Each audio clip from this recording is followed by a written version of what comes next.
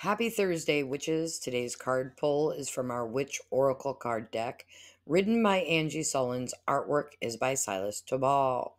Today's note from our Witch's Almanac is that the moon is in Scorpio. The Rescuer. Killer empathy is real. Most women never identify it, let alone unravel its suffocating grasp on their lives. While empathy is a superpower, it is a double edged sword. It enables you to be considerate and cooperative with others.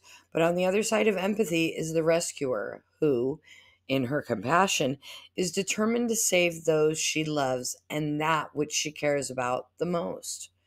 This will lead her to sacrifice her time, energy, and other resources in the name of fixing, saving, solving, helping, or otherwise rescuing those people in situations she feels have great need.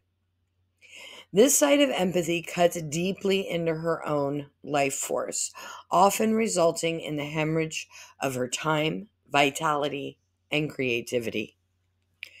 A witch, however, knows that her empathy must have boundaries. She helps those who help themselves, jumping in to assist rather than to fix. She trusts that others have their own guides and their own soul's code to assist their journey, just as she does. She's willing to resist the impulse to caretake or rescue, allowing others the opportunity to grow, expand, and develop on their own. Now is the time to resist the urge to manage another's experience Keep your precious empathetic energy in balance.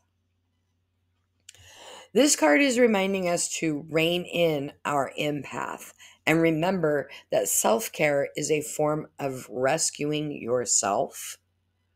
So, who are you going to rescue today?